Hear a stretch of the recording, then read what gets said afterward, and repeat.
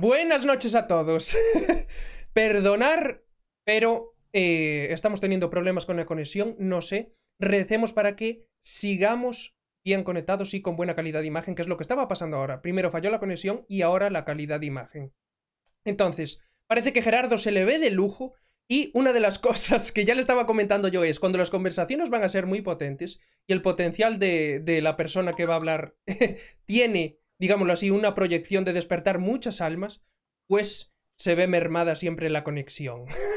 así que bienvenido, Gerardo, gracias de corazón y te pido eh, perdón delante de todos por, por todos estos problemas técnicos. Y eh, bienvenido a mi canal. Perdona de corazón, hermano. Ya es la tercera vez. no, no hay ningún problema. Este, muchas gracias por la invitación. Buenas noches por allá a ti y a tu auditorio. Y no, ¿para qué pedir perdón, disculpas? Esto es así, así es la tecnología así son los Anunnakis y bueno, así es, esto, de modo, no pasa nada. Pues bien, me gustaría empezar por eh, tu historia, eh, empezando desde, desde de dónde provienes y cómo acabaste eh, dedicándote a lo que te dedicas, que al final te dedicas a muchas cosas y varias de ellas yo ni me las esperaba, así que a la gente yo creo que le va a interesar mucho. Claro, mira, soy mexicano, tengo 45 años, desde que tengo uso de razón, desde muy pequeñito, desde que yo me acuerdo, rescato animalitos. Eh, trato de apoyar en los procesos de estos seres maravillosos.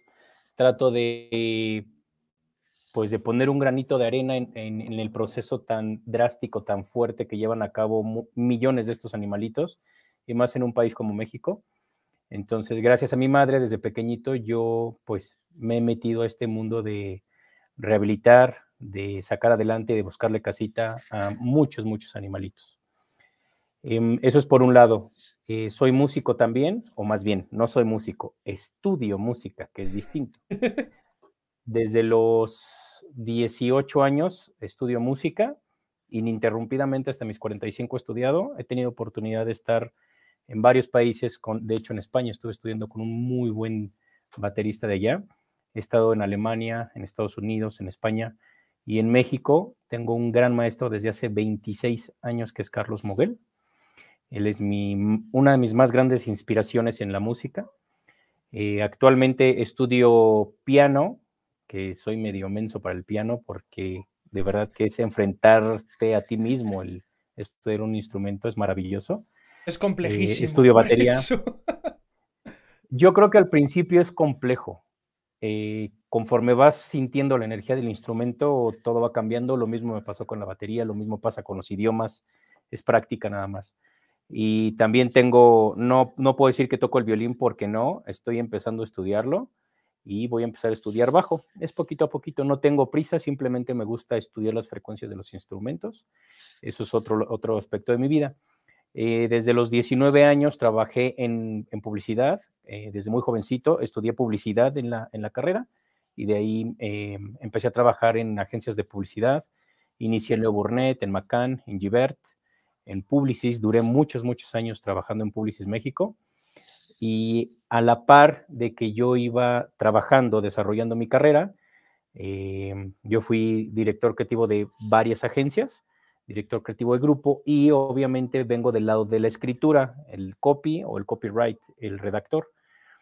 Y mm, pues a la, a la par de que yo iba aprendiéndole a mis jefes, aprendiéndole a las personas con las que trabajaba, empecé a escribir mis cosas, cosas con referencia a todo este mundo como cósmico, de razas, eh, espiritual, pero en aquella época no había redes sociales. Entonces, pues todo lo que escribía, pues se quedaba ahí, en el tintero, tengo todos mis cuadernos, y ahí se quedaron. Y cuando empezaron a surgir las redes sociales, em, pues comencé a escribir ciertas cosas. La verdad es que era un poco raro escribir de Anunnakis, de extraterrestres, porque pues yo, según yo, mi percepción es que no a muchas personas les interesaban esos temas. A mí me interesó desde chiquitito porque mis padres, cuando mi padre vivió con nosotros, vivió como cuatro años nada más, después se fue, eh, dejó muchos libros aquí. Mi madre siempre estuvo metida leyendo cosas bien interesantes, em, cosas ocultistas, por decirlo así, Madame Blavatsky, el Isis sin el Kibalión, todo ese tipo de libros estaban presentes en mi casa desde que yo era jovencito Y a los 6, 7 años yo ya empezaba a agarrar libros. Cuando empezaba a leer, o sea, cuando iba al primer año de primaria y segundo año de primaria que empezaba a recordar cómo leer, pues iba agarrando los libros de Connie Méndez, del Kibalión, de Saint Germain, de la llama violeta, de Ramta, muchas cosas. Entonces me interesó mucho ese tema. Em, acá en México, en los años 70 o antes, había una revista que se llamaba Duda. Entonces, esas ediciones de Duda que hablaban de temas extraterrestres, pues obviamente yo eh, las iba a leer a los lugares donde se podían leer porque no tenía para comprarlas. Entonces, desde pequeñito me gustó todo eso y conforme fui desarrollando mi carrera, que era escribir estrategias mercadológicas, escribir comerciales, escribir guiones, pues eh, lo que aprendí ahí o lo que recordé en todos esos años, lo fui utilizando para escribir lo que actualmente escribo. Entonces el tiempo fue pasando y muchas personas me iban escribiendo de platica este tema, que tiene que ver lo de los dragones que, eh, que publicaste en Facebook. Y pues me empezaron a escribir muchas, muchas personas. Y yo jamás pensé que me fueran a escribir tantas personas porque dije, pues me van a decir que soy un imbécil loco conspiranoico, pero aún así no me importó. Entonces empieza WhatsApp, empiezan todas estas redes como más directas, el propio mail, que ya tenía mucho tiempo, por supuesto, y ahí pues alguien me fue sugiriendo que yo escribiera un libro. Yo dije, ¿yo escribiera un libro? Pues yo escribo comerciales, yo escribo estrategias de, mercadotecnia, no de publicidad, no, no libros. Y mm, con el paso del tiempo, yo me fui, no quiero decir hartando de mi carrera, amé mi carrera y amo mi carrera, pero llegó un punto en el que le dediqué tanto tiempo, en el que le dediqué tantas horas, tanta energía, que no estoy arrepentido, al contrario, conocí gente lindísima, gente súper interesante, gente que me sacó canas verdes, no sé si se entiende ese contexto, que me hizo que me arrancara los pelos para que yo escribiera lo mejor que pudiera. Y ahora agradezco tanto a esa gente que me hizo practicar y practicar y practicar la escritura publicitaria, porque pues les aprendí muchísimo. Y entonces eso es algo que en el momento me pudo haber caído mal tanta gente y ahora digo, qué bueno que fueron mis jefes, qué bueno que me regresaban el trabajo que no estaba bien hecho y me obligaron a pues tratar de ser lo mejor posible en mi carrera. Y eso lo he ido aplicando a lo que escribo porque hay una máxima en la publicidad que es en 10 segundos que dura tu spot tienes que explicar un producto, tienes que explicar los, los, los beneficios. Entonces, eh, a eso nos obligan en publicidad la mayoría de las veces los que redactamos, a que en muy poquito tiempo o muy poquitas hojas expliques algo que te tomaría muchísimo tiempo o que te tomaría muchísimos libros. Entonces, esa base publicitaria yo empecé a, tomarla para escribir mis libros y el primer libro que publiqué fue en el 2012 que se llama, la primera parte que se llama la, el libro más pequeño del mundo con las verdades, verdades más grandes del mundo, que el librito tenía, no sé, ya no me acuerdo, 14, 15, 20 páginas y eran muchos temas. Entonces, cuando muchas personas me dicen, es que haz un resumen de todos los temas que hablas y que empiezas a publicar en un libro, yo dije, pues si tengo muchos temas ya resumidos de lo que bla, bla, bla, desde hace años, entonces los empecé a typear y empecé a reescribir lo que tenía mucho tiempo esa información. Eh, ahí lanzo mi primer librito y obviamente mi objetivo jamás fue vender o ganar dinero de mis libros. A mí se me hace una, tontería que si yo puedo compartir algo de mi esencia, de lo que yo he ido escribiendo, para mí ese es mi pago. Entonces muchos, em, cuando publiqué mi primer librito, eh, lo bajaron muchas miles de personas. Yo jamás esperé que lo bajaran tantas personas. Y a partir de ahí me empezaron a decir, queremos la segunda parte, queremos la tercera parte. Y esto, cuando pasa todo esto, yo sigo rescatando perros, sigo siendo publicista pero a la par, yo lo que quería era empezar a comunicarme con perros. O sea, ¿a qué me refiero? Yo empecé a escribir todo esto y me surgió la necesidad de comunicarme con los animalitos. ¿Por qué?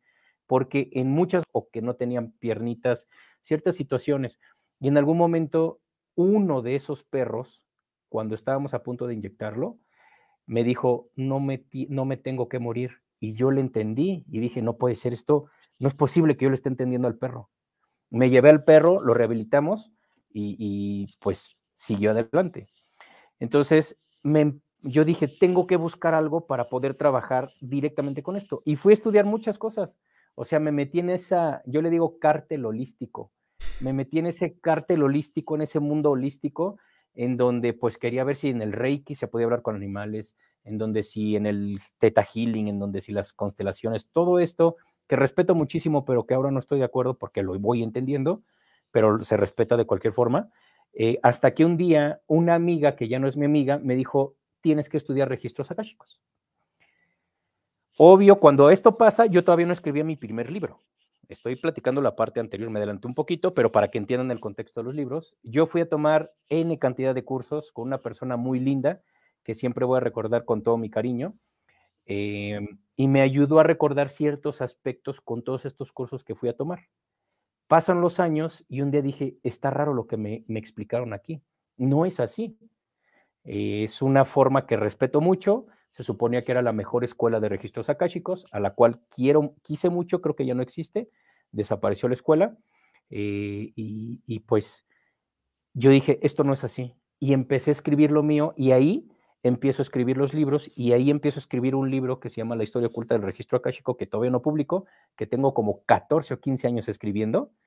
Em, y, y entonces empiezo a comunicarme con los animalitos y después me doy cuenta que no nada más es comunicarme con los animalitos, puedo comunicarme con una piedra, con un árbol, con una nube, con un volcán, con la lava del volcán, con lo que me preguntes, porque todo está vivo y todo es energía y frecuencia.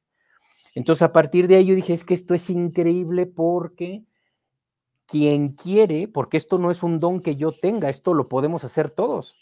A mí muchas personas a lo largo de los años me han dicho, Gerardo, es que tú eres el único que bajas así la información. No, todos lo podemos hacer.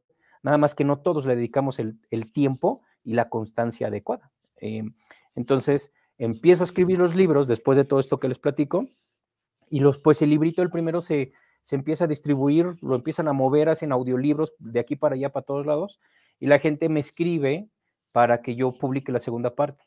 Entonces, a partir de la segunda parte, porque el primer libro lo escribí ya que yo había empezado a trabajar con este tema de los registros, lo escribí cuando renuncio a la agencia de publicidad en la que trabajaba, en donde duré años y años y años.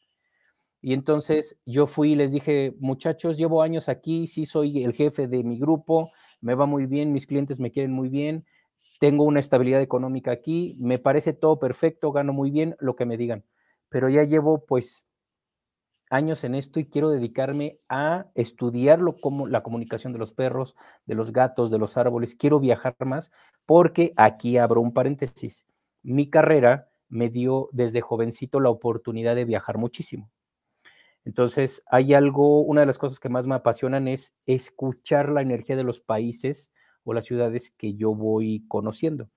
Mi familia, me voy más para atrás, mi familia eh, vivió muchos años en Alemania. Entonces yo desde jovencito iba a Alemania. A partir de ahí me empezó a llamar la atención la energía de los bosques alemanes. Una de mis hermanas, de hecho, vivía en Cataluña. Yo iba desde jovencito a visitarla a ella y a mis sobrinos. Entonces, me cambió la vida o me cambió la perspectiva de la vida el empezar a sentir frecuencias de otros países, ejemplo, España y Alemania. A partir de ahí, mezclado con mi carrera, eh, todo esto pasa al mismo tiempo, ¿saben? O sea, desde que iba a Alemania, desde que estudio, desde que publicidad, desde el bla, bla, bla.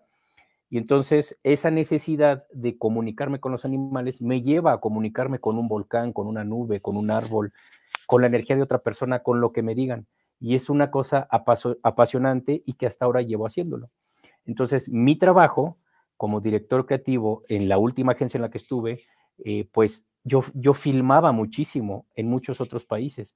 Entonces tuve oportunidad de conocer Argentina, tuve oportunidad de conocer eh, Santiago, Inglaterra, eh, Francia, muchísimos lugares y ahí ya empezaba yo a trabajar con los registros e iba escribiendo muchas cosas, que poco a poco iba publicando y a raíz de eso, en, cuando, yo, cuando yo decido salirme de publicidad, decido entre comillas, renuncio, agarro mis cosas, mi mochila y me fui como dos meses a Perú y a Isla de Pascua. Ahí escribí el primer libro. Entonces regreso, estando yo en Perú, los Anunnakis trataron de seducirme otra vez y me ofrecieron trabajo en otra agencia me dieron un montón de dinero y yo por soberbia y ego dije, ay, pues me están pagando más, quieren ahí una persona, otro director creativo, y les renuncié a los dos meses. Me salí de esa agencia. Dije, no, no, no, no, no te desvíes porque ya estoy escribiendo el segundo libro. Y no conforme con eso, me acuerdo perfecto, una persona que yo quiero mucho, que es Pedro Saldívar, él era el, no me acuerdo el puesto que tenía, pero era como vicepresidente o CEO de Publicis México, no me acuerdo, es un gran amigo y tiene muchos años que no lo veo, me ofreció el juntarnos para abrir una agencia y asociarnos y seguir adelante. Pues abrimos una agencia. Nos fue muy bien, gané muchísimo dinero, pero no solté ya el tema de mis libros. Eh, llegó un punto en el que, pues sí, mi ego de querer ganar más dinero, de tener mi propia agencia, de ser empresario, bla, bla, bla, mi ego me llevó ahí, mi soberbia de, ay, sí, ahora me toca a mí abrir mi agencia de publicidad. Y dije, pues la abrimos y punto. Nos fue muy bien, nos divertimos mucho. Con el tiempo yo me quedé solito con la empresa y llegó un punto en el que me deshice de todo. Y entonces, a lo largo de este tiempo, yo seguí escribiendo la segunda parte de mi libro, la tercera parte de mi libro que la escribí en India y en Nepal, y la cuarta parte de, esa saga de libros la escribí en Egipto. Me fui como un mes. Me deshago de todo la publicidad por completo, no quería nada más más que seguir escribiendo.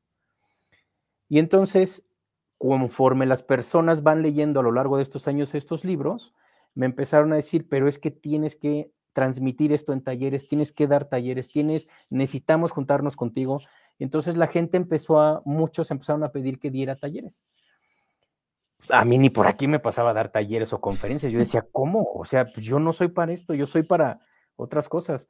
Y entonces un día recibo una llamada de una persona que me dijo, oye, ¿tú quieres dar una plática de razas cósmicas en Querétaro, que es aquí a 200 kilómetros?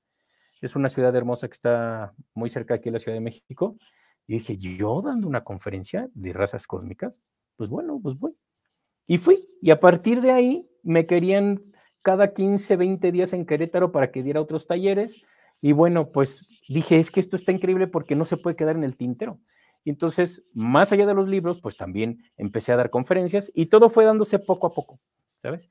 Entonces, eh, actualmente, em, a mí me impresiona la cantidad de personas que quieran ya trabajar todos estos temas, que quieran, que me hablen y me digan, es que quiero escuchar a los árboles, es que quiero aprender de ellos, es que quiero saber el lenguaje de una madera, saber el lenguaje de un tambor. O sea, eso para mí es valiosísimo. Em, mis libros no los vendo y nunca los voy a vender. Mis libros son, van a ser gratuitos. Muchas personas me dicen, es que tú ya serías millonario si vendieras tus libros a un dólar, por lo menos. Yo digo, pues sí, pues seguramente o sea, la, ahora que, escribí la historia oculta de Gaia, la primera parte, la publiqué en, febrero. En segundos ya tenía, pasó lo mismo que con el servidor que te pasó ahorita, se colapsó porque eran miles de personas tratando de descargar el libro y el libro tiene miles de bajadas, ya está, o sea, es una locura de cuántas personas que a mí ni por aquí me pasaba que esto iba a suceder. Es muy bonito y muchas personas me han dicho, pero es que cobra un dólar para, pues, pues, pues cobra. Y yo lo que digo es, no me interesa el dinero, o sea, no me interesa, no me interesa vender esto, este, y mis libros van a ser gratis. Yo no monetizo mi canal de YouTube, no estoy diciendo que esté mal que se monetice, al contrario, me parece que es una gran forma de, de generar ingresos, pero yo en lo personal me preguntan también por qué no monetizo mi canal. No me interesa monetizarlo. El canal está monetizado, pero yo no, yo no, yo le pongo no monetizar a los videos. Entonces, no me interesa y muchas personas, bueno, también doy conferencias gratuitas. Razas Cósmicas es una conferencia gratuita en donde vienen un montón de personas y volvemos a lo mismo. Eh, esto no lo hago para yo generar dinero.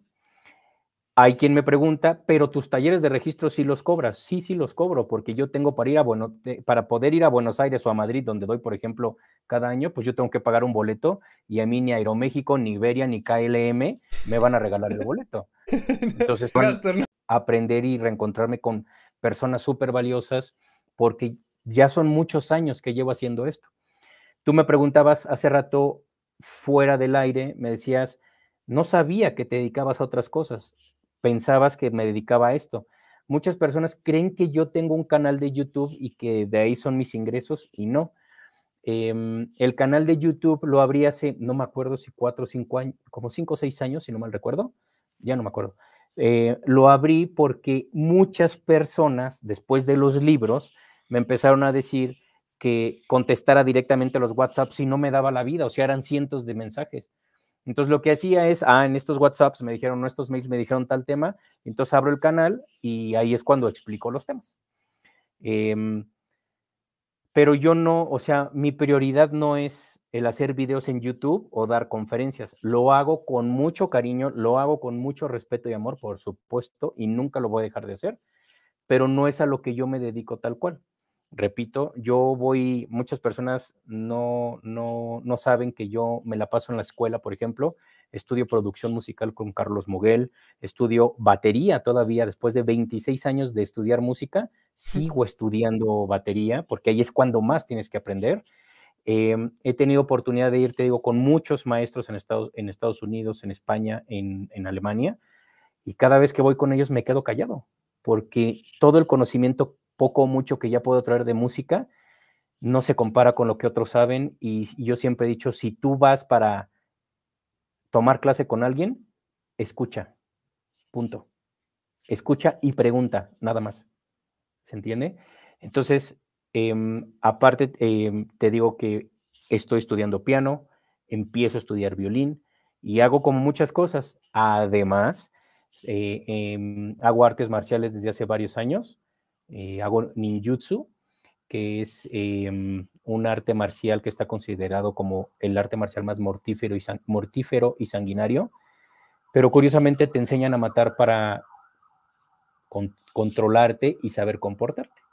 Entonces ahí ya voy para cinta gris. De hecho, debí haber hecho mi examen de cinta gris este mes, pero por tantos viajes que tuve ahora no me dio tiempo de terminar el entrenamiento para presentar mi cinta gris. Y teniendo la cinta gris, que seguramente va a ser en enero o febrero, porque voy a estar acá en México ya, después de la última conferencia, las conferencias que tengo en Colombia en noviembre, ya voy a estar en México varios meses. Ahí voy a aprovechar para, para prepararme bien, bien para mi cinta gris. Y a partir de ahí inicia todo, porque ya empiezo mi tesis para cinta negra. A la par, empecé a entrenar kickboxing también, para perfeccionar aspectos de pateo y todo eso. Y mi objetivo es llegar a cinta negra y seguirle con los danes también ahí. Me va a costar menos trabajo el kickboxing porque el programa es más pequeño y gran parte de lo que se entrena o se transmite en kickboxing ya lo tengo en el ninjutsu desde hace tantos años. Aparte, además de eso, eh, pues yo tengo mi negocio. Yo me dedico a, renta de, de, casas, renta de departamentitos, y pues yo tengo, de ahí salen las croquetas de mis perros, de ahí sale mi alimento, salen mis verduritas, y pues le doy a todo. Le, la otra vez platicaba con mi hermana que a mí en lo personal me gustaría tener un Uber, no sé si se entiende Uber. Sí, es, como un taxi, ¿no? Claro. Un taxi, sí. Entonces, a mí en lo personal, en algún momento, a mí me gusta manejar y escuchar música mientras manejo. por ejemplo, cuando yo voy a otras ciudades en la camioneta, pues me encanta manejar y lo disfruto. Cuando voy a ver a mi madre, yo voy cada ocho días al bosque, ella vive aquí a, a 150 kilómetros en la montaña, voy cada ocho días a verla, le llevo su comida, todo súper rico y disfruto mucho manejar y escuchar música porque ahí me conecto para escribir cosas. Y parece broma, pero a mí una de las cosas que quiero hacer quizá en un año o en medio año es comprarme un carro o vender el carrito que tengo y, manejar un Uber, ¿sabes? Entonces, parece una locura. Eh, mi hermana me dice, ¿un Uber? Y yo, pues claro, porque me gusta manejar. Entonces, darme tres, cuatro vueltas al día, me gano un dinerito, saco para mis alimentos, mis verduritas y listo, ¿sabes? Porque uno de mis vicios son los tambores. Entonces, se ve, México, los tambores. se ve. tienes ahí un, equipo de tambores buenísimo. Mira. allí tienes más. sí, tengo más. Entonces, esta es mi colección que tengo desde hace, desde que yo empiezo a tocar, desde los 18 años.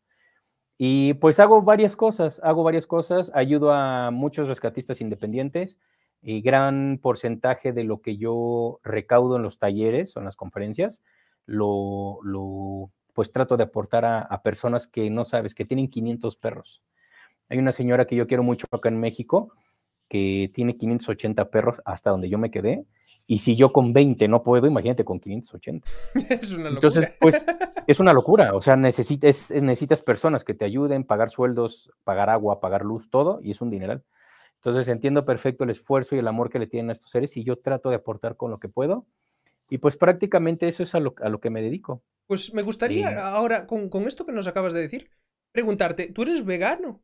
Yo soy vegano. Yo, soy vegano, sí. Y claro, ya me parecía, porque tal y como estabas hablando de los animales y así, me parecía que, como mínimo Serías vegetariano así, pero eres vegano, sí, señor. Brindemos por ello. Yo, eh, desde pequeñito nunca me gustó la carne ni la leche. Mi padre, cuando vivió con nosotros los poquitos años que estuvo aquí, me obligaba a comer carne asquerosa. Acá le dicen barbacoa, tacos de birria y un asco. O sea, hasta decirlo me da asco, pero perdón, pero pues es así. Entonces, eh, en algún momento durante mi carrera, por ejemplo, fui copywriter, fui redactor de McDonald's.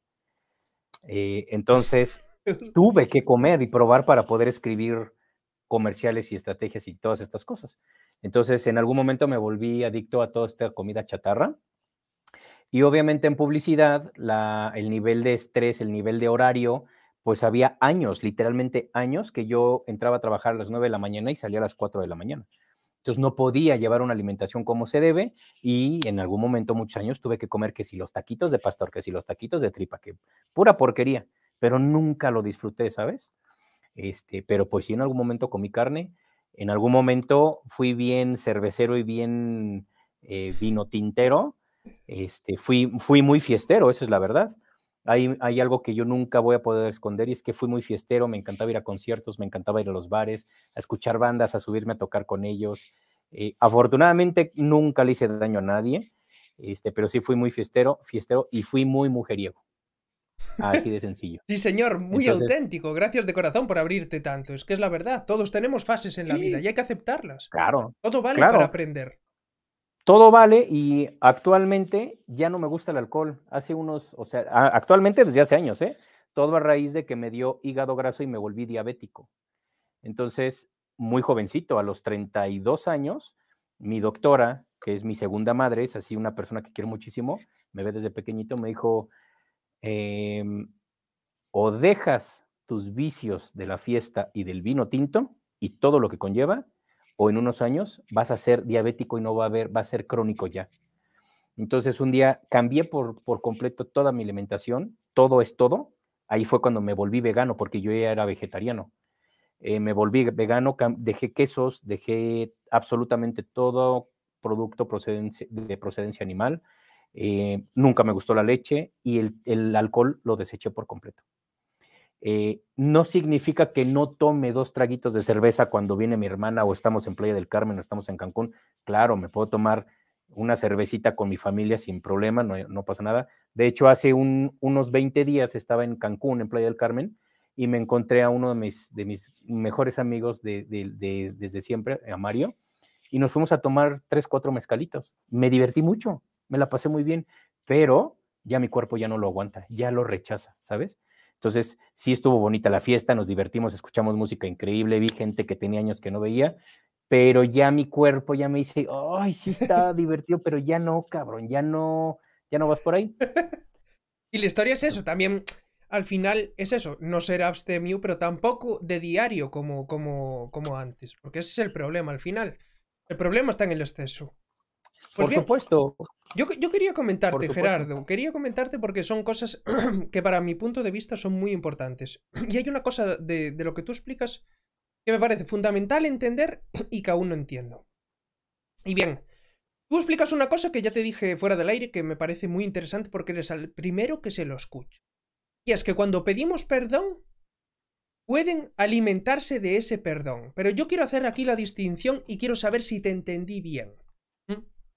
Entonces, pedir perdón está bien siempre y cuando seas coherente y consecuente con... Es decir, que vas a cambiar. Si tú repites el mismo, lo mismo, o el mismo error, es decir, yo te pido perdón porque te me porté mal contigo, y sigo siendo el mismo, absorbe mi energía. O no, o es siempre que se pide perdón. Es que no, no, no, sé si te entendí bien, por eso. ¿Me explicarías eso bien? Mira, nosotros, cada eh, espíritu. un, segundo, Gerardo, que se dejó de escuchar. A ver, ¿habla? Yo aquí estoy. Yo te veo y te escucho perfecto. Espera, a ver si se puede desconectar.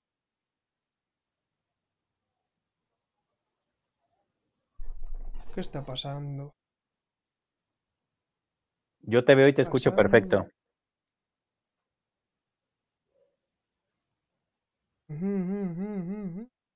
No lo sé, no lo sé. A ver. Habla, ahí, Gerardo. Yo te escucho perfecto y te veo perfecto. Creo que te está captando, pero yo, yo no te escucho. Vamos a, preguntarlo en el chat. Pero claro.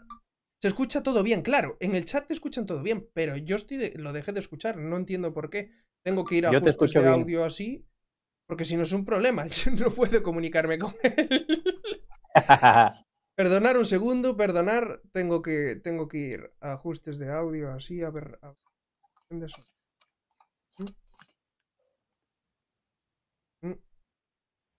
¿O sabes lo que voy a hacer? Porque a veces pasa. Simplemente desenchufo y vuelvo a enchufar el...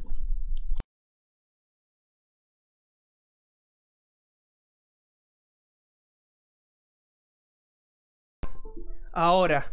Ahora. Habla ahí, Gerardo. Haz el favor. A ver si... Si te escucho. ¿Me escuchas tú? ¿Me escuchas? Tú ahora no me escuchas a mí. ¿Tú, me escuchas? Ahora sí, ahora te escucho perfecto. Yo a ti no. Y, y tú a mí no. ¿Me pueden decir por qué pasa esto?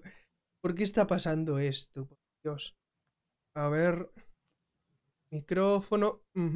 A ver, vamos a ver. Vamos a ver por qué no me escucha. No sé qué está pasando. Vamos a ver en Ninja. A ver. Volumen cortado. Vamos aquí. Ver. Vamos a volver a reiniciar. A ver. Vamos a...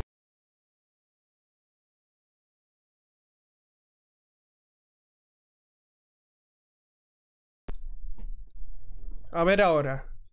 A ver ahora. Vale. ¿Por qué pasan estas cosas? Por Dios. Por Dios. Perdonar ya somos mil ciento y pico personas y perdonarme, pero son cosas que pasan. Ya me diréis vosotros a ver a qué viene que se desconecte primero. primero, que no lo escucho yo a él y después que él no me escuche. es que no tiene sentido.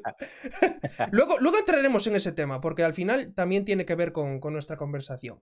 Bien, por favor, eh, Gerardo, explícame lo del perdón. Haz el favor porque, porque querría que me quedara claro. Sí, te estoy viendo un poco desfasado. ¿Tú me ves bien? Yo te miro perfecto, te miro nítido de lujo. Así que es, yo eh, te veo un segundo desfasado, pero yo no tengo problema. Perfecto, porque en, lo que viene a ser el vídeo parece ser que va todo bien, así que de lujo. Continuemos. Bien. Entonces, el tema del perdón es muy largo, pero voy a tratar de hacerlo pequeño. Sintetizarlo. claro. Los miles y miles de espíritus que estamos actualmente encarnados bajo las leyes cósmicas, esto que quede bien claro, ¿eh? Bajo las leyes cósmicas, debemos de traer un plan cósmico para ejecutarlo aquí, para llevarlo a cabo aquí. ¿Se entiende eso? Uno de los objetivos de diversas castas extraterrestres que dominan el sistema social en el cual nos desenvolvemos es que nosotros no recordemos nuestro plan cósmico. ¿Por qué? Porque si no recuerdas tu plan cósmico, vas a andar por todos lados gastando tu energía. ¿Se entiende lo que digo? Sí. Ok. Uno de los negocios, repito, uno de los negocios más grandes energéticamente hablando que se lleva a cabo en este planeta es que los espíritus encarnados bajo las leyes cósmicas no recordemos nuestro plan cósmico. Es decir, van a hacer hasta lo imposible por distraernos para que nosotros no bajemos esa información. Entonces, existen muchas herramientas para que esto se lleve a cabo. Muchas son muchas. Podemos hablar desde el alcoholismo, podemos hablar desde el envenenar nuestro cuerpo con, con tanta carne, con tanto aceite, tantos toneladas de azúcar, em, el desperdicio de la energía sexual, eh, la adicción a la energía sexual, la adicción a otra persona, eh, en cualquier aspecto que me, que me preguntes. Entonces, existen muchos sistemas dedicados a que nosotros nos distraigamos. Uno de esos sistemas es el sistema psicológico, la estructura psicológica que se lleva a cabo en este planeta la psicología como tal no fue creada en este planeta, fue traída de otro lugar. No entro a detalles más grandes, es un tema enorme, pero la psicología tal cual, la estructura psicológica que se lleva a cabo aquí, no es terrestre, la trajeron de otros lados. ¿Qué estudia la psicología? ¿Cómo que estudia la psicología? La mente. Perdona porque me acababan de escribir y me acababan de confirmar que todo va bien. Así que no hay problema, estoy tranquilo ya. Estoy tranquilo. La psicología literalmente estudia la mente, punto. La psique. De ahí se desprenden muchas formas en cómo a través de ese estudio de la mente pueden llegar a seducir y controlar a la mente. Por supuesto. Estamos de acuerdo. O sea, eso no lo inventé ni lo estoy diciendo yo. Eso lo dice la propia psicología, nada más que no siempre le ponemos la atención adecuada.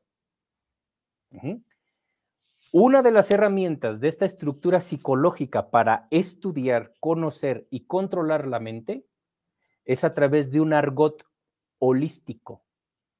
Dentro de ese argot holístico existe un puntito o una, un, punto, un punto que se llama perdón.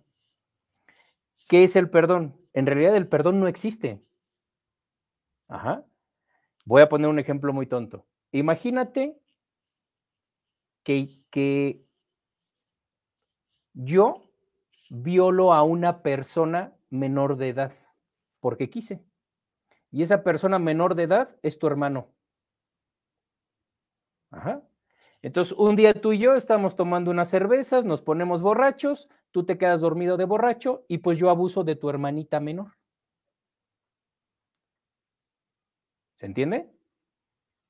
¿Tú crees que cuando tú despiertes de la borrachera, te voy a decir, ay, ¿qué crees? Ay, es que pues se me pasaron las copas y pues pasó lo que pasó con tu hermanita menor de edad. Pero perdóname, ¿no? ¿Qué me vas a decir tú? Claro, desde este estado, desde este nivel de conciencia, de vigilia, no creo que pudiera perdonarte. Son cosas demasiado fuertes. A ver, y aunque me dijeras, pues sí te perdono, o sea, toma en cuenta lo que está sucediendo. Ya se movieron energías. Irreversiblemente las vas a reparar. ¿Sabes? Entonces, aunque tú me dijeras te perdono, o tu hermanita que fue la víctima me dijera te perdono, dices, a ver, ¿qué estamos haciendo? Ahí empieza un retroceso o un estancamiento del plan cósmico de los tres. ¿Se entiende? ¿Qué sucede? Que muchas veces nosotros mismos estamos acostumbrados a decir, ay, sí, me perdono, te perdono y ya me perdonó. Perfecto, sigamos adelante. Ajá. Y la energía que ya movieron en cualquier tipo de, de situación de este grado o cualquier otro grado, ¿dónde queda? La energía ya se alteró, la energía ya se movió, la energía ya explotó, por decirlo así. ¿Quién se va a hacer cargo de toda esa energía? ¿Sabes qué es lo que sucede cuando alguien dice, no, sí te perdono? No, sí, ya me perdonó. Lo que sucede es que cerebralmente te estoy diciendo, pues va, no pasa nada, ya me violaste, pues sigamos adelante. Pues está perfecto que tú perdones, como lo estás diciendo, pero ¿dónde se queda la energía generada por esa violación o por ese asesinato o por esa patada o por ese golpe o por esa grosería o por esa traición? ¿Dónde se queda esa energía? Porque a ojos psicológicos, pues ya estamos bien y sigamos adelante emborrachándonos, total. Mañana violamos a otra persona y no pasa nada. ¿Y la energía dónde queda? Tú dices que la absorben. Esa energía, esa energía la convertiste en un buffet energético para entidades que se dedican a consumirnos por todos los aspectos de nuestra vida. Es que, el problema. Tiene mucho sentido, y yo, yo por eso decía como cuando tú ponías el ejemplo, que yo te lo escuché todo eh, el vídeo, el del perdón, porque para mí es algo fundamental a efectos psicológicos, luego te explicaré por qué, y por eso quiero comprender tu teoría bien, porque eh, decías como cuando vas al confesionario, vas al confesionario, yo me confieso y luego sigo siendo el mismo. Entonces, claro, estamos alimentando todos estos seres, es cierto. A ver, cuando tú vas al confesionario y tú le dices, oiga, padrecito, fíjese que pues me acosté con cuatro mujeres que no eran mi esposa. A una la embaracé. Eh, me puse bien borracho toda la semana y no le di de comer a mis hijos. ¿Qué hago, padrecito? Y el padre va a decir, tranquilo, mijo, deja tu diezmo ahí, échate unos 15 mil aves marías en la semana, unos 45 mil padres nuestros y siéntete tranquilo, hijo mío, ve en paz. Psicológicamente, ya estoy tranquilo, En México decimos que chinguen a su madre todos, yo ya estoy tranquilo. Mientras mi cerebro esté tranquilo, lo demás no me importa. Ese es el problema. ¿Y dónde está toda la energía de las relaciones sexuales que tuviste cuando fuiste infiel? De todas las borracheras que te pusiste, de haber golpeado a alguien, de bla, bla, bla, bla, bla, bla. Ok, ¿dónde está?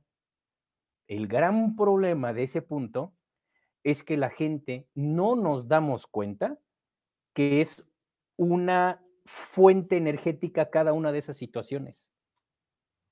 Y ahí se están alimentando muchos, muchos, muchos, pero muchos seres de una densidad distinta, de una frecuencia distinta a la nuestra. ¿Qué es lo que pasa? Pues, pues este cabrón, que me lo pongan a seguir desperdiciando su energía sexual, que siga violando, que siga emborrachando, nosotros nos encargamos de que él nos siga abriendo los grifos energéticos y adelante. O sea, les estás dando tu energía, porque aquí lo que no nos damos cuenta es que aunque tú creas que ya te perdonaron, la energía que llega a esa situación surge de cada uno de los participantes. Entonces, si tú vas por la vida diciendo, no, es que ya me perdonó, no, ya lo perdoné, no, sí, perfecto, está bien, en tu estructura mental ya estás tranquilo de que todo está en orden. El problema es que te siguen irrigando la energía de ese problema que según tú crees que ya está perdonado. Por eso es que a las personas de ahí se les detonan tantas enfermedades, tantos tumores, por eso se les aflojan los dientes, por eso empiezan a perder la vista, por eso se hacen más viejitos más rápido, etcétera, etcétera, etcétera, etcétera. Porque el cuerpo no va a dar para tanta energía que se está gastando. A ver, te pongo un ejemplo. Tú me platicabas hace rato que tienes un empleo. ¿Te dan tu, tu dinero cada cuándo, tu sueldo? ¿Cada mes o cada 15 días? Cada mes. Ok. Cada vez que tú, que tú recibes en tu en tu tarjeta bancaria o en tu cuenta bancaria tu sueldo, sales del cajero automático y empiezas a regalar por todos lados los billetes, los euros? no. No, ¿verdad? Y menos enfrente del banco. No vaya a ser que lo parece... Bueno, pues eso mismo, así por absurdo que parece la pregunta que te estoy haciendo, eso mismo hacemos nosotros no con los euros, lo hacemos con nuestra energía. Cuando tú estás dando perdones y buscando ser perdonado, estás literalmente aventando así tu energía y la gente no lo dimensiona. Entonces, la palabra el perdón es, es un concepto que potencia el que los espíritus encarnados no nos enfoquemos en nuestro plan cósmico. Potencia que estemos más perdidos y que seamos más, pues total, ya me perdonó. En México decimos, sí, chingue su madre, ya me perdonó, vamos a seguirnos emborrachando. Y pues, pues bueno, pues ¿qué te digo? El problema de esto es que la energía se te va a acabar. Y claro, es lo que dices tú que repercuten también en tu aspecto físico, en enfermedades, patologías, distintos problemas, eh, también psicológicos. Bien, a mí me surgen muchas dudas porque yo, yo sí que estoy muy a favor del, del perdón, porque yo lo que estudio es psicología y realmente yo me siento bien cuando pido perdón y cuando la otra persona me acepta el perdón cuando cometí un error. ¿Qué pasa? Que yo rectifico mi actitud. Por ejemplo, tengo un problema con mi novia. Yo qué sé, me equivoqué en algo. Le dije, mira, esto es así. Y no era así, ¿sabes? Y le digo, ah, perdona. Perdona de corazón porque realmente me equivoqué. Estaba equivocado. Entonces, es como un símbolo de respeto de, mira, te pido perdón ella que me lo acepte, pero yo rectifico luego y trato de no volver a cometer ese mismo error. Ahí está el punto. Ve lo que estás diciendo. Trato de no volver a cometer el mismo error. Ese es el gran problema. Trato de no volver a cometer el mismo error. ¿Y si no lo cometiera? ¿Y si no lo volviera a cometer? ¿Estaría bien pedido el perdón? No, porque ya sucedió. No sé, el ejemplo que pones con tu novia. Lo que sea, que le fuiste infiel, que, no sé, lo que sea. Ya lo cometiste. Un perdón no va a resanar esa energía porque ya se cometió. Lo que hay que estudiar es por qué me comporté así. Lo que pasa es que le estás pidiendo perdón para que no te deje. Esa es una opción, una posibilidad. Eso es la verdad. Así trabaja la psicología. Le estás pidiendo perdón para qué? Para que no se detone algo más que tú no quieres que se detone. Yo es que creo que, que tiene un trasfondo también de ego. ¿Sabes? El hecho de que. De que. Claro, si tú no admites que cometiste el error, ¿sabes? Es cuando entras en, en, esa, en ese bucle de no quiero aceptar lo que hice mal. Eh, exactamente. A ver, un, e, un, ejemplo con una persona que consume droga. ¿Cuál es el paso más fuerte que un adicto a la cocaína tiene que, que dar? Pues el paso más fuerte yo creo que, claro, dejarla. No. Hay uno antes de eso. ¿No comprarla? no. Es darse cuenta que está siendo adicto a una sustancia. Cierto. Ese es el paso más fuerte. No dejarla, eso, es el, eso lo vemos después. Mm. Pero el tipo que lleva 14, 15 años consumiendo sustancias, él sabe que está consumiendo una sustancia que se lo está consumiendo. ¿Estamos de acuerdo? Sí, sí. Pero el tipo no va a parar hasta que un día diga, soy adicto a esta sustancia. Ese es el punto más fuerte. ¿Sabes? Mm. Imagínate un, nada más para entender un poquito el contexto erróneo del perdón. En el momento en el que el tipo, después de 15 años, para y dice, no puedo más con esto, soy adicto a esta cosa. Perfecto. Me perdono porque no sabía lo que hacía. Pues tú solito te podrás perdonar, pero la energía que detonaste al consumir eso y la afectación que le causaste a tu cuerpo, ahí no entra el perdón, entran las estructuras mentales. ¿Tú sabes lo que le pasa a una persona que lleva 15 años siendo adicto a la cocaína o una cosa de esas? El cuerpo se le destroza, el sistema óseo, el, van perdiendo la vista, el flujo sanguíneo cambia, la alteración cardíaca cambia, el campo electromagnético se va reventando. ¿Estamos de acuerdo? ¿Tú crees que con el perdón hacia él mismo, los golpes energéticos que le dio con estas sustancias a su cuerpo, ya se va, ya por el hecho de decir, ya no consumo nada y ya voy a estar bien? ¿Tú crees? Claro, ¿no? No, no, porque tiene 15 años de golpear su cuerpo con tal sustancia. ¿Qué sucede? En su mente dice, pues ya me perdoné, perfecto. Nada más ahora saca adelante a tu cuerpo después de haberlo chocado, golpeado durante 15 años ah, frente a esas sustancias. Son golpes energéticos muy fuertes. Entonces ahí el, el, cuerpo ni modo que te diga, sí, te perdono. Te perdono, Enrique, porque pues sí nos metimos cocaína y ahora te perdono. No, no es te perdono, es haz lo que sea necesario para recuperar la energía perdida. ¿Y sabes cuál es el gran problema? Que difícilmente va a recuperar la energía perdida. Claro. Es que ya después de tantos años de consumo es así, hay, hay cosas que ya no se pueden sanar. Es como una gran cicatriz, al final ya no, bueno, no hay. Imagínate que con el ejemplo de esta sustancia adictiva, nosotros somos adictos a las personas y eso es algo que no se dan cuenta. Entonces tú pones el ejemplo de tú con tu novia. Yo lo primero que les pregunto siempre cuando doy los talleres es, ¿realmente aman a su novia? ¿Aman a su pareja? ¿Aman a sus hijos? Porque el contexto de amor es erróneo en esta sociedad. ¿eh? El amor no tenemos ni la más remota idea de lo que realmente es. Entonces, en el momento en el que uno tiene una pareja, uno tiene una esposa, ahí tenemos que preguntarnos, si la quiero, si la amo o soy adicto a su energía. Eso es muy bueno, es así, ¿eh? Es así, porque hay gente que maltrata a la persona con la que está y realmente necesita estar con ella. Ahí es donde entraría la adicción a su energía. Por eso puse el ejemplo de la cocaína y llévalo a una persona. ¿Por qué? Porque la droga más grande que existe, una de las más grandes que existe en este planeta, es la energía humana. Y tú hace rato dijiste, es que si yo le pido perdón a mi novia, ¿por qué le estás pidiendo perdón? ¿Porque tienes miedo a que pierdas esa energía que le absorbes a tu novia? Es que claro. Ah. Ese, entra una, una, una gran dicotomía, porque a nivel psicológico yo necesito pedir perdón. Yo aprendí a pedir perdón desde muy pequeño y gracias y a dar las eh, gracias. Es algo, es algo psicológico que te permite como abrir una puerta hacia la sanación. Psicológica, es decir, es decir, a nivel encarnado en la tercera dimensión, necesitas ciertos patrones para no entrar, digámoslo así, en una patología psicológica grave o en un desequilibrio mental. ¿Por qué razón? Porque necesito expresar a la otra persona que sé que me equivoqué. ¿sabes? Ya no, no es restaurar la energía, porque no podrás restaurarla tal cual como dices.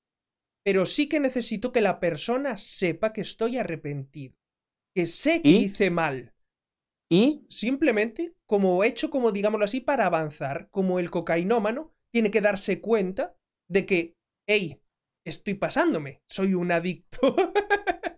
es algo así, algo así. Yo siempre lo vi como ese primer paso, ese primer paso hacia realmente generar una estructura mental que te permita volver a llegar al equilibrio. Porque, por ejemplo, ah, en, lo que viene a ser un cuadro depresivo, ¿sabes? Eh, solo desarrollo esto.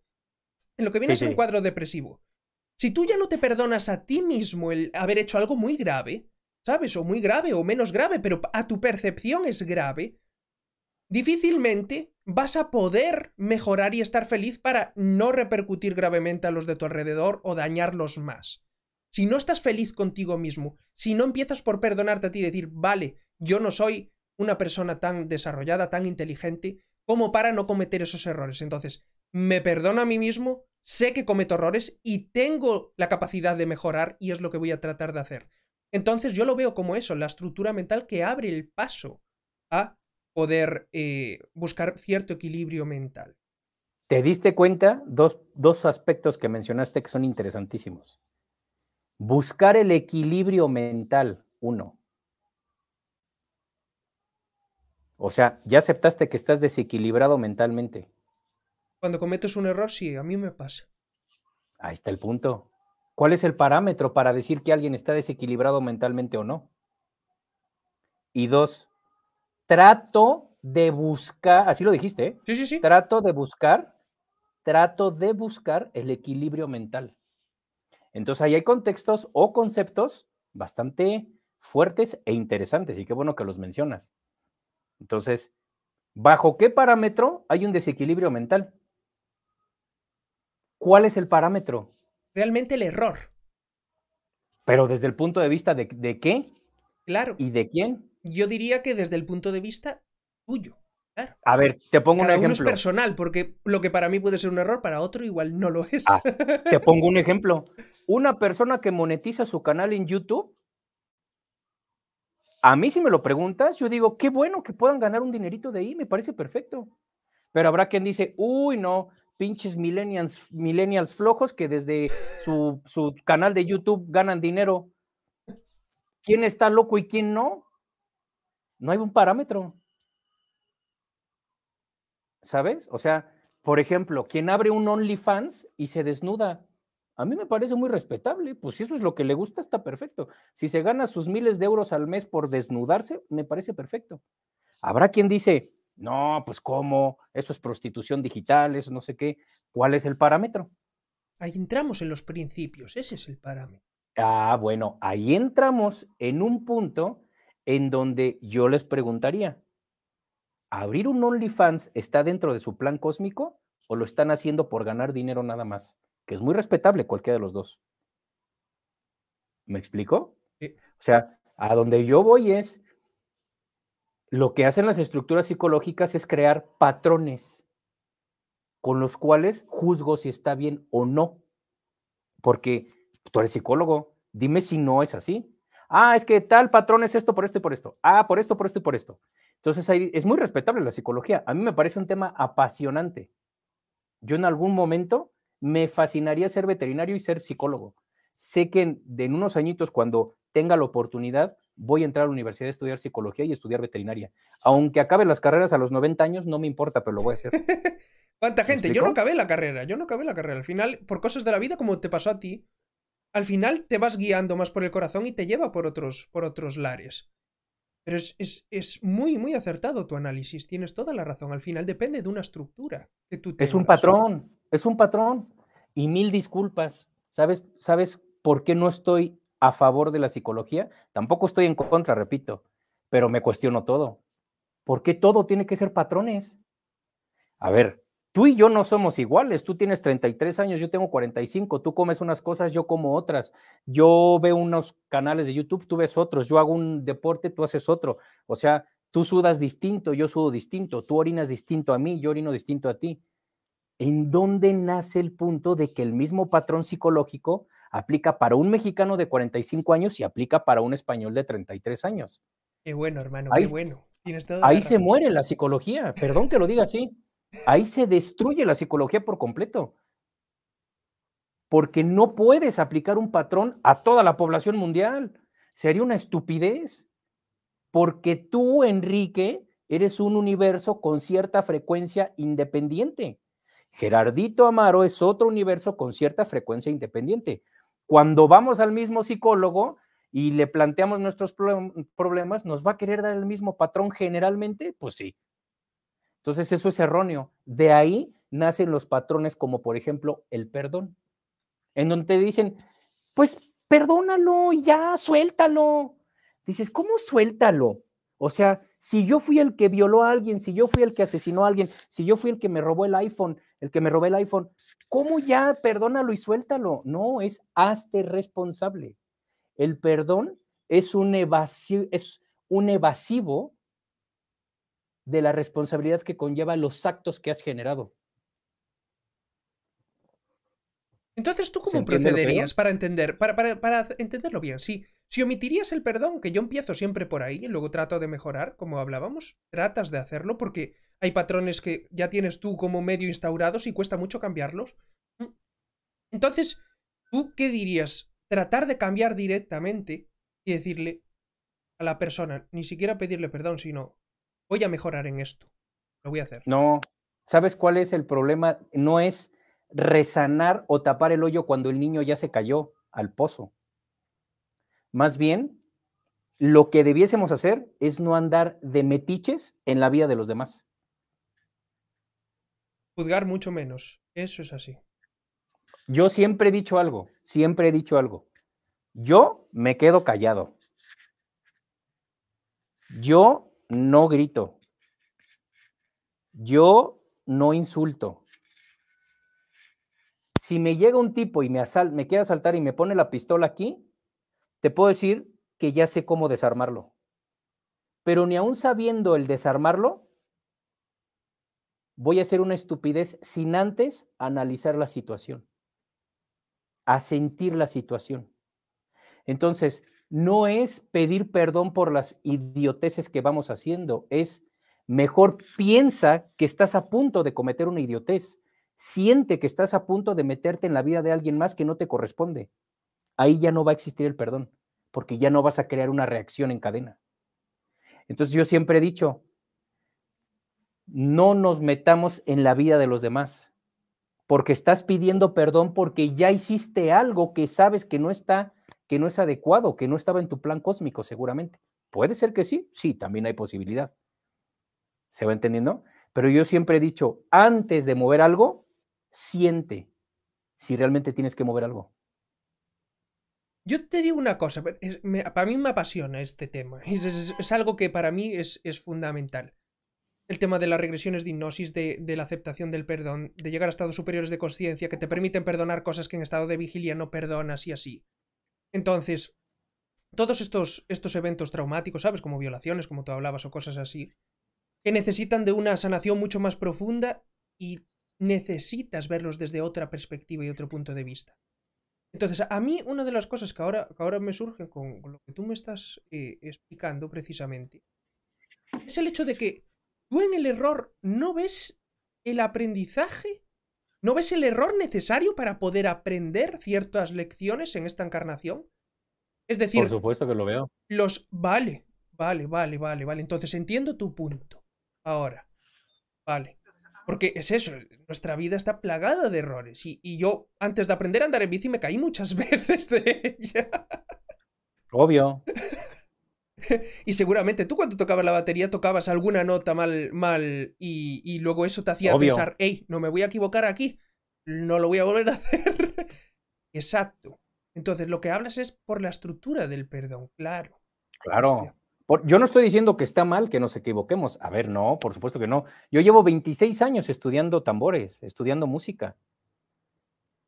¿Sabes cuántas horas le he dedicado a mis errores? Años.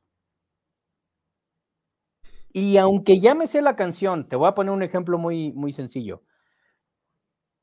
Cuando yo empecé a estudiar doble bombo, doble pedal, una de mis más grandes, inspiraciones para estudiar doble bombo, fue Lars Ulrich, el baterista de Metallica. Y yo dije, tengo que tocar One de Metallica que tiene unos seisillos en, en doble bombo increíbles. Bueno, esa canción me costó horas y horas y horas estudiarla. Ahora, a mis 45 años, la sigo estudiando. Aún cuando ya la toco perfecto, ya la he grabado perfecto, me sale idéntica, la sigo estudiando. ¿Sabes por qué? Porque el estudio es lo que nos va a alejar del meternos en situaciones que ya no nos corresponden. Y como consecuencia, nos va a alejar de hacer estupideces que ya no nos corresponde hacer. Ahí ya no existe el perdón. Buenísimo. ¿Se va entendiendo? Sí, sí, sí, ahora te entendí, Gerardo, ahora te entendí. Ahora te entendí por fin. Ahora entiendo dónde está el punto.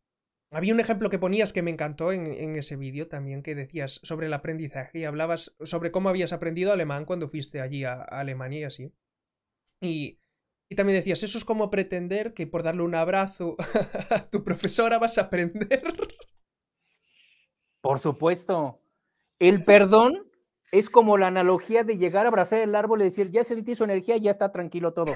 No, hombre, eso es ignorancia y mediocridad pura.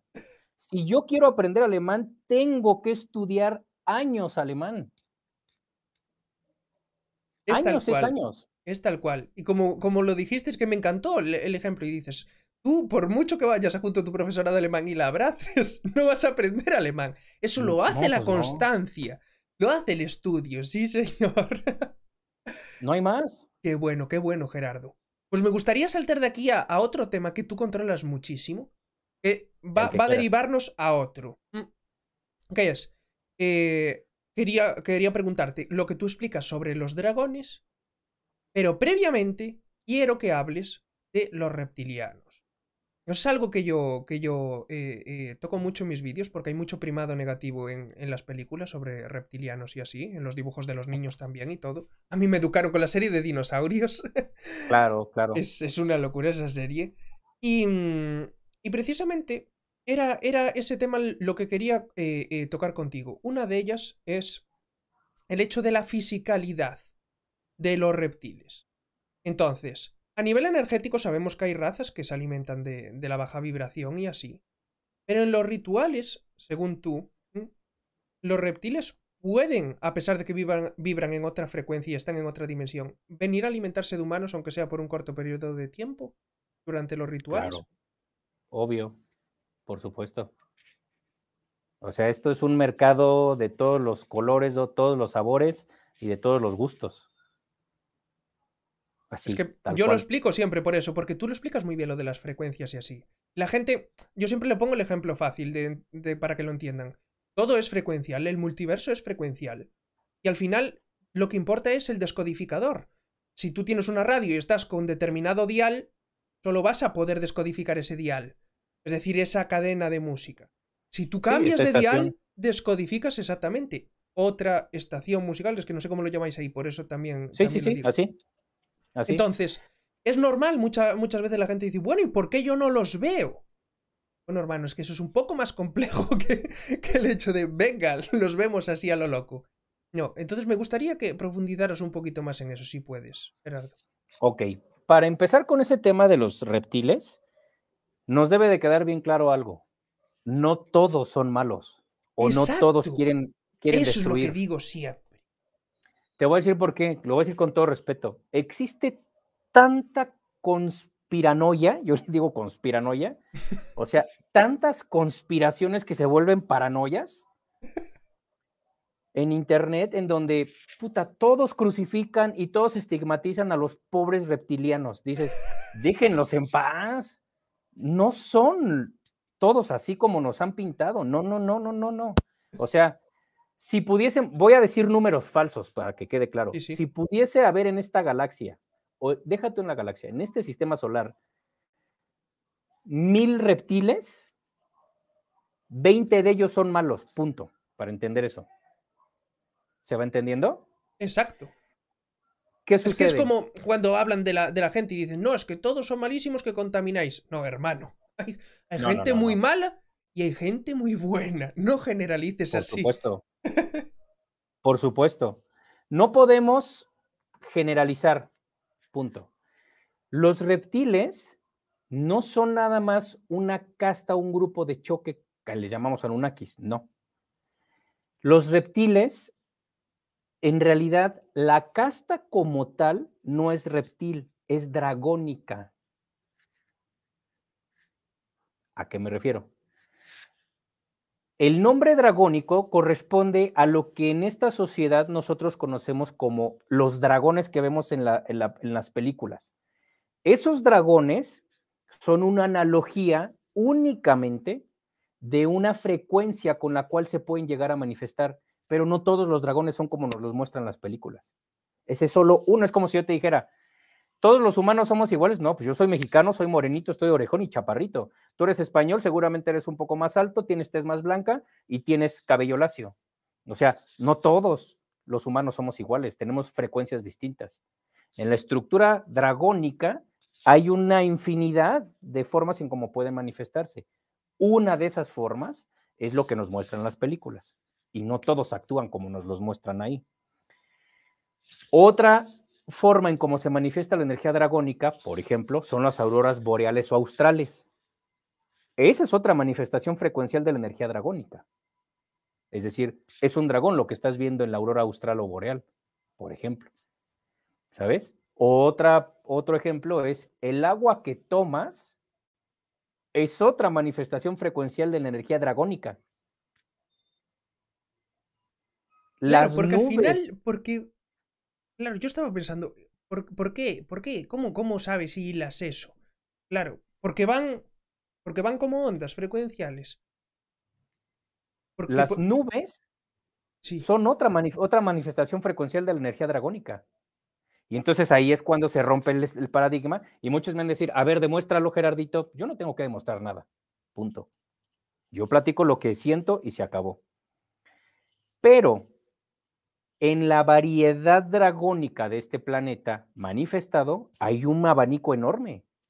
Y dentro de ese abanico están las nubes, que son dragónicas, está el agua que tomamos los humanos, están los icebergs y las cadenas montañosas de hielo que hay en los lugares que fueron congelados.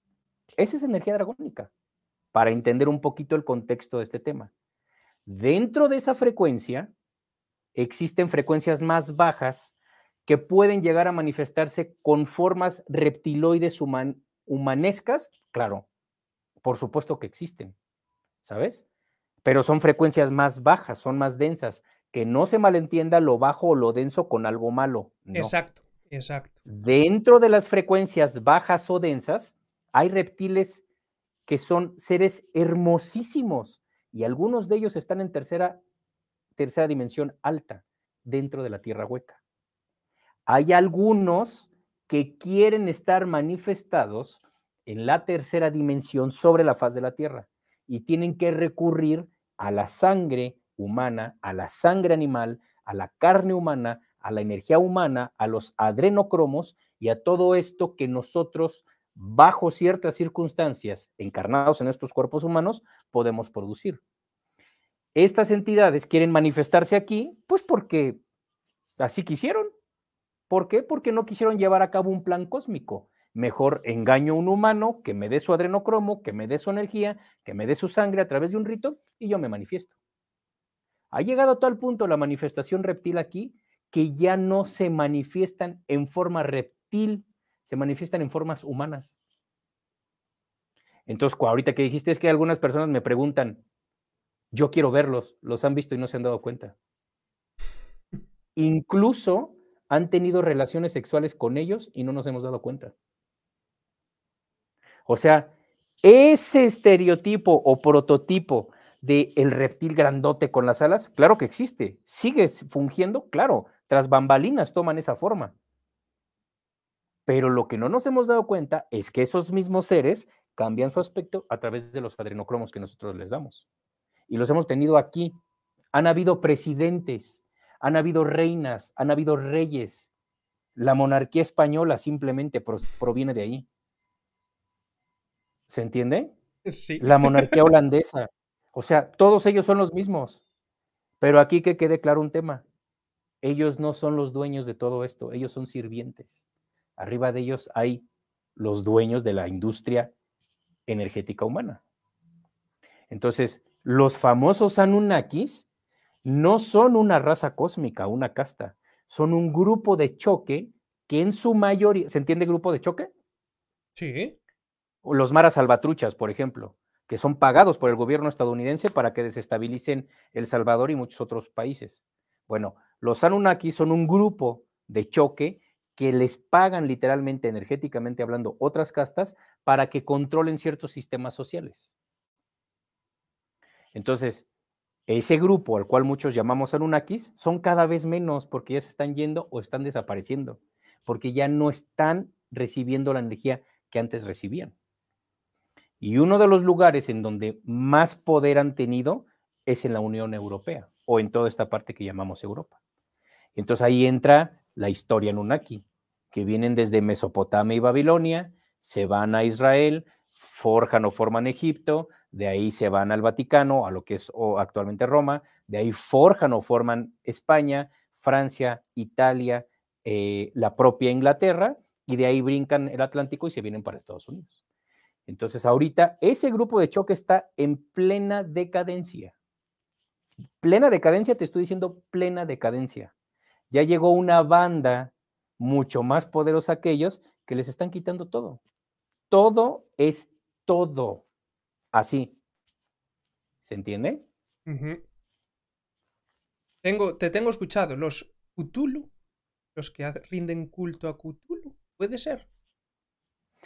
Bueno, hay quienes les llamamos a los jefes de este tipo de grupos de choque, hay quienes les llamamos Cthulhus y luciferinos, pero hay otros que no conocemos tanto, em,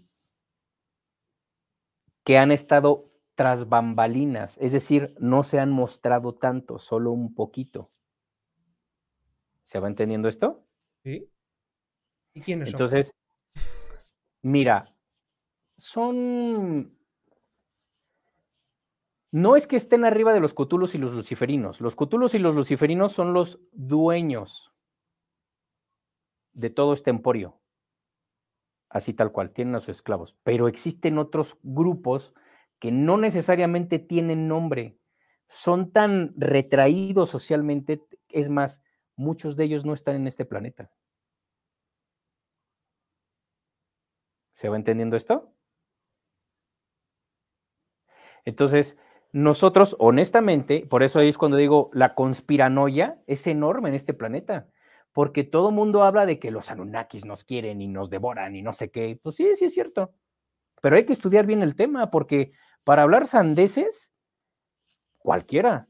Por eso yo siempre digo, si te vas a poner una cámara enfrente, estudia el tema que vas a hablar, porque si no, esa es una conspiranoia tremenda la que portamos.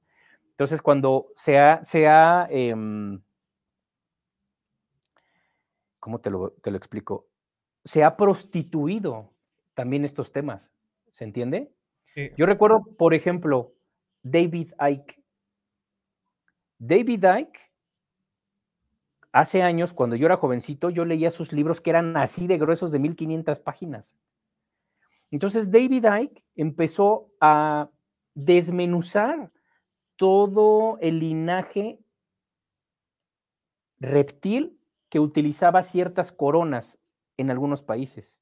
Él se enfocó más hacia Inglaterra. Entonces, ese tipo a mí me parece admirable porque desde hace años tuvo el valor de ir desmenuzando eso. Y eso nadie lo ha hecho. Estoy completamente de acuerdo. ¿Y sabes qué es el gran valor que tiene ese tipo? Que se burlaron de él y que el tipo dejó por escrito y perfectamente claro cómo es que se han ido armando los linajes en este tipo de coronas, en este tipo de reinados. ¿Sabes? Yo no conozco actualmente un youtuber que se ponga a estudiar y que diga, es esto, esto y esto y esto, o que si no hay un libro para demostrártelo, por lo menos que haga sentido con el contexto social que estamos viendo. No hay. No voy a dar nombres, conozco un montón, me han mandado eh, videos que los veo cinco segundos y con todo respeto digo, no, no, no sabe, no estudia. ¿Sabes? En donde pues los tipos nada más van a Wikipedia y le ponen, ah, pues Anunnakis, y ya de ahí se ponen a estudiar lo que dice en Wikipedia y lo repiten en YouTube, dices, no, no es así. No es así. Entonces, hay muy pocos escritores, hay muy poquitos youtubers que realmente estudian. Y a mí por eso cuando me preguntan, ¿a quién ves de YouTube? A nadie. ¿Sabes? O sea, veo músicos increíbles, veo arpistas, veo pianistas, veo arte marcialistas, pues veo gente que estudie lo que, lo que les gusta mostrar. Pero hablar, para hablar de conspiranoicos y la conspiranoia, no, no, no me gusta perder el tiempo en eso. Por eso, de verdad, el poner nuestra energía en ciertos temas es bien delicado porque nos pueden engañar muy fácil. Entonces pongo el ejemplo de David Icke porque es un tipo ocultísimo, es un tipo que estuvo ahí metido. Y el tipo tuvo la valentía de escribir paso por paso cómo fue todo. ¿Sabes? Entonces, eh, el tema de los Anunnaki se ha prostituido, el tema de los, de los reptiles, porque pues los estigmatizamos como los malos del cuento. No son los malos, son tipos que están viviendo su proceso y están encadenando otros humanos que nos dejamos encadenar. Es distinto, pero ellos no son los malos, ¿eh? que quede claro. Incluso ni los cutulos ni los luciferinos. Ellos son ganaderos energéticos y cada quien entra a sus rebaños si así queremos. Existe otro grupo bestial del cual no tenemos ni idea, em, que están en, en la, los nefilim, están en, gran parte encarnados en la parte escandinava del planeta. Y nadie dice nada de ellos. Yo esta semana publico el, primer video que va a ser de los nefilim. Y los hemos tenido enfrente. Y cuando entendamos la industria de los Nefilim, se nos van a caer los pantalones y la cara de vergüenza de cómo nosotros los hemos tenido enfrente y hemos participado en su séquito y en su milicia y no nos hemos dado cuenta. Pero pues es que hay que estudiar, porque pues es muy fácil agarrar los libros de David Icke, aprenderte dos, tres cosas y decirlo en YouTube. No es que esté mal, está bien. Pero si vas a estudiar un tema, estudialo bien. No al ahí se va, como decimos en México. Entonces, a mí me parece que uno de los temas más prostituidos en toda la historia de la conspiranoia que hay en este planeta es el de los reptiles. Y créeme que el hecho de ver un tipo que dice, es que a mí me abdujeron y en hipnosis vi como los reptiles me subieron a su nave, qué bueno, pero ¿qué me puedes contar de los reptiles? ¿Sabes? Entonces hay muy poca información. Vemos lo que nos cuentan los chismerios de Google y de YouTube. Pero si realmente nos ponemos a estudiar ese tema, lo que vemos de esa conspiranoica ideología que existe en redes sociales no es ni el punto uno, ni el 0.1% de lo que realmente tendremos que estudiar de esa casta. Es sumamente, eh, es una pasión estudiar este tipo de temas. Es una adicción, no paras y no paras cuando escuchas cómo se ha llevado a cabo la historia de estos tipos. Es increíble. Simplemente cuando trajeron la luna, porque ellos la trajeron. ¿Estoy de acuerdo? ¿Sabes? Entonces ahí es cuando dices, puta, ¿cómo la trajeron, güey? ¿Cómo? ¿Qué era la luna? Nada más para entender un poquito. La luna era un laboratorio. Y la luna fue creada para estudiar otros planetas. Pero estos tipos vandalizaron el laboratorio y se lo robaron y se lo trajeron. Como agarrar un coche, robárselo y usarlo para asaltar. Pero la luna no es mala. Lo que es malo es lo que sucede en la luna, lo que está raro. Pero la luna era un laboratorio que se lo vandalizaron y lo robaron para traerlo aquí. Entonces, a eso nadie lo entiende, ¿sabes?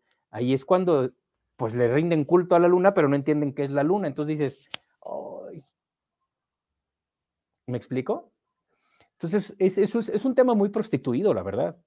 A veces, con todo respeto, yo sí uso el meme en donde a mí, por ejemplo, el meme que dice, no estás listo para esta conversación. Qué bueno, sí.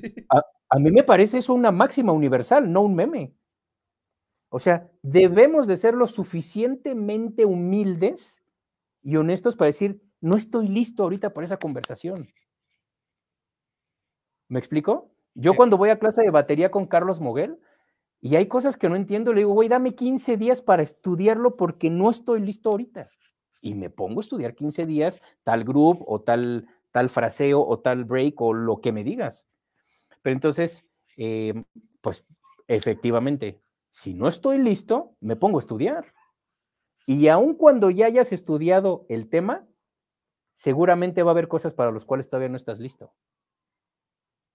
Por eso es que yo muchas veces digo, no, pues ¿para qué veo tal video? ¿Para qué veo tal persona? Agradezco su trabajo, lo respeto, pero yo, yo, yo prefiero encerrarme aquí y estudiar lo que tenga que estudiar. O salirme a jugar con mis perros pelota, revolcarme con ellos en el pasto y jugar. Ahí también estudio muchas cosas, ¿sabes? Porque si no los temas se prostituyen. Y honestamente, hay muchos canales de YouTube, hay mucha información en las redes sociales que ya está prostituida la información y eso genera una confusión en la gente más allá de explicar, porque aunque, aunque no estoy diciendo que esté mal que la gente vea eso, no, está bien, de todo se aprende y todo debe de ser agradecido. Pero estamos en un punto en el que estamos fervientes, hambrientos, sedientos de saber, de, de profundizar los temas. Y muchas veces caemos en las garras de muchas personas que lo único que hacen es lucrar energéticamente. Ya no lucrar financieramente, eso es lo de menos. Lucrar energéticamente. Entonces, cuando dices que hagan lo que consideren adecuado, ¿sabes? Pero la factura cósmica les va a llegar. Eh, de esa no se salvan, ¿eh? De esa sí no se salvan. Y prostituyen los temas. En lugar de que los planteen como se debe, pues como se debe inspirar a una persona. Ah, no, nada más dicen como pericos, ¿se entiende como pericos? Sí, sí, como si fueran loros, como repitiendo lo que, lo que leyeron de otros o aprendieron de otros. Exacto, entonces así se prostituyen los temas y a mí me parece penosísimo que un tema tan interesante como el de los reptiles lo prostituyan tanto, ¿sabes? En lugar de que aporten, lo estudien y lo, lo compartan, ah, no, pues nada más ensucian y confunden más a la gente. está bien, no pasa nada, nada más la factura llega sola. Hombre, eso es así, siempre vas a tener que pagarlo, antes o después. Me gustaría profundizar en otra cosa. porque tú dices que, escuchas a los gatos y a los perros y así. Mucha gente no comprende esos conceptos y así. Pero es lo que hablaba yo antes del descodificador. Tú tienes esta, esta capacidad que la has aprendido y como no la entrenas. ¿Y qué pasa? Que lo que haces es entender la frecuencia del gato y del perro y se te traduce digámoslo así, en tu mente, lo sientes en tu corazón. ¿Podrías explicarnos un poco más esto para la gente que no lo comprenda bien? Claro, mira, em, te voy a poner un ejemplo. Cuando una mamá o un papá tienen una semana de ser mamá o papás, ¿cómo le hacen para entender al niño que no habla castellano? ¿Por qué? ¿Te has dado cuenta que cuando una mamá o un papá, antes de que llore el niño, la mamá dijo, ya se hizo pipí, ya se hizo popó, ya tiene las pompitas rosaditas, ya tiene hambre, ya está incómodo y quiere que lo cargue. Incluso antes de que el niño empiece a llorar, ¿cierto o no? Sí. ¿Por qué? Es que, Porque el corazón... Hay, ciertos aspectos por eso, distintos. Hay unas cosas que tú podrías indicar físicas, ¿sabes? Lo miras a hacer determinados patrones o así. Pero luego hay una vibración, hay algo más profundo que ah. subyace a ah, todo eso. Antes de que haya esa reacción física que tú dices, de esos patrones físicos, antes de eso la mamá ya se dio cuenta que va a llorar el niño y que va a ser y que va a estar incómodo por algo. ¿Cómo es posible que eso suceda? Pues porque la mamá está en una frecuencia de sensibilidad tan alta que capta directamente el nivel de frecuencia de sensibilidad tan alta del bebé e inmediatamente traduce todo. Por eso es que la mamá se puede anticipar a eso. ¿Se va entendiendo? Es un lenguaje de frecuencias que no nada más se lleva a cabo en, este plan, en, esta, en esta materia, se lleva a cabo multidimensionalmente. Es decir, el ser crístico del niño ya le dijo la información al ser crístico de la mamá y ya la recibió aquí. Por eso es que dos segundos antes, dos segundos antes dice, ah, pues el niño es esto. Eso se llama traducir las frecuencias y todos lo sabemos hacer. El gran problema, por llamarle de alguna forma, o el tremendo detalle, es que eso se debe de practicar todo el tiempo y no lo hacemos. Nosotros usamos más las estructuras psicológicas que la sensibilidad del corazón. Exacto. Esa es la diferencia. No es que esté mal usar este, está bien, pero hay que saber usar este y hay que estabilizarlos. Entonces, es como cuando una persona dice, me voy por la izquierda o la derecha, y tu cerebro te dice, vete por la izquierda, y tu corazón te dice, vete por la derecha.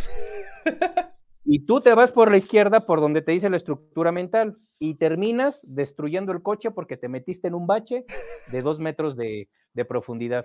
Puta, pero si yo sentía que era por acá, pues claro, tu ser crístico y tu multidimensión te estaban diciendo por dónde, el corazón te estaba diciendo por dónde, pero no le hacemos caso. es verdad.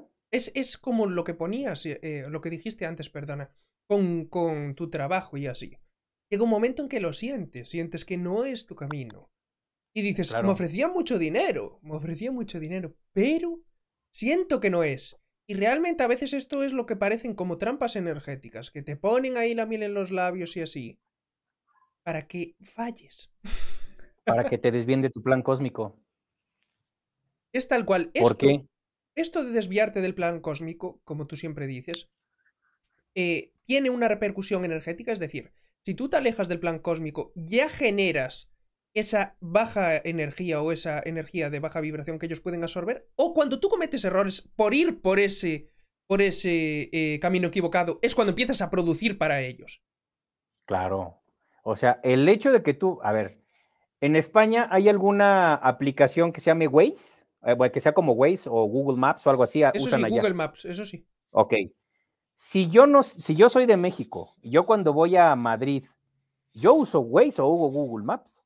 ¿Por qué? Porque necesito no perderme para conocer más lugares, para sentir más lugares, para ver a más amigos, etcétera, etcétera. O sea, uso un plano. Me dice por dónde y lo uso, ¿cierto o no? Nosotros tenemos un Google Maps en el cuerpo, es el corazón, pero no lo usamos. Ese Google Maps que traemos aquí, tendríamos que prenderlo y decir, ah, es por aquí, es por acá, es por acá. Ah, perfecto. ¿Sabes? No lo hacemos decimos, ah, no, está más bonito por aquí, por aquí, y pum, y ahí vas y chocas. Ah, no, acá hay más dinero, y pum, y otra vez. Entonces, ahí ya estás dejando de ver por dónde tienes que ir. Cuando sucede todo esto, empiezas a generar desesperación, ansiedad, inseguridades, miedos, bla, bla, bla, y eso es de lo que se alimentan estos tipos. Perfecto. Y ahora querría preguntarte una cosa para ir cerrando que es, son cosas profundas, ¿sabes? Sí que quiero que me des tu, experiencia para poder aprender. Llevas más tiempo encarnado en esta dimensión y creo que sería muy, muy eh, em, útil el hecho de que nos explicaras, bajo tu punto de vista, cuando nos pasan ciertos errores y así, que a lo mejor cometemos tres veces o dos veces, ¿sabes? Un error que te equivocas en determinada cosa y así.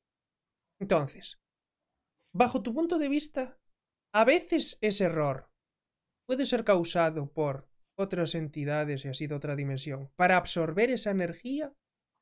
¿O se trata también a veces en ocasiones de tu propio aprendizaje espiritual y que te está poniendo a prueba para ver si eres capaz de decir, hey, aunque me pase otra vez, voy a tener la paciencia suficiente, la calma para afrontarlo? Por favor, danos un poco de luz sobre. Ambas posibilidades son posibles dentro de una gama de posibilidades. Es decir, existen entidades dedicadas a distraerte y hacer hasta lo imposible para que tú no sigas tu plan cósmico. De hecho, hago un paréntesis, hay una película que se llama... Es algo, ahorita te digo el nombre, se me fue ahorita. Ahorita te la, te la menciono, es con Mark Wahlberg en donde se ven eh, unos. Ese es Infinite. no, no, esa es otra. Esa era buenísima, esa era buenísima. No, no es Mar... esa es lindísima, que es de los que ya recuerdan la encarnación. Se llama Agentes del Destino.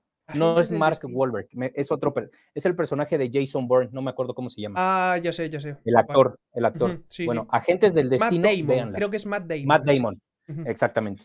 Bueno, sale Matt Damon y la película es, él tiene bien claro su plan, pero aparecen entidades que mueven todo para que no lo lleve a cabo. Es decir, hacen hasta lo imposible para que él cometa errores, se equivoque, se distraiga, se, desespere y desista. Punto. O sea, esa es una posibilidad, fue la que tú planteaste. Sí existen. Y ese tipo de entidades, muchos los conocemos como Men in Black, los famosos hombres de negro, esos tipos se dedican a eso. Y hay miles en el planeta. O sea, los guaruras que aparecen atrás de Obama o de algún presidente así, son ellos, son parte de ellos en su mayoría. Sin embargo, también dentro del plan cósmico de un espíritu encarnado bajo las leyes cósmicas, puede estar escrito o anotadito que tienes que equivocarte con tal tema hasta que no lo aprendas. O sea, es válido equivocarse. Donde más aprendes es equivocándote. Entonces, muchas veces nosotros juzgamos a las personas y decimos, ay, es un bruto, otra vez lo mismo, ay, es un imbécil, otra vez lo mismo. Pues sí, porque si dentro de su plan cósmico era equivocarse 30 veces hasta que le quedara claro, pues ese es su plan cósmico. Porque hay espíritus que no les gusta hacer las cosas como se debe desde el principio para no andar golpeando y chocando y chocando. Te voy a poner un ejemplo muy sencillo.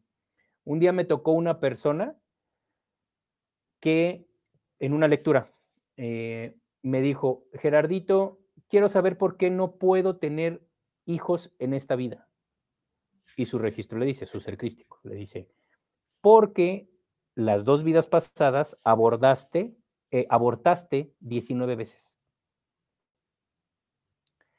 Y entonces dijo, pero ¿cómo yo decidí abortar? Claro, pero es que entonces soy un demonio. Y su registro le dice, no, dentro de tu plan cósmico estaba que tú rechazaras tantas veces tener una persona para entender el valor de que llegue un espíritu y encarne dentro de ti.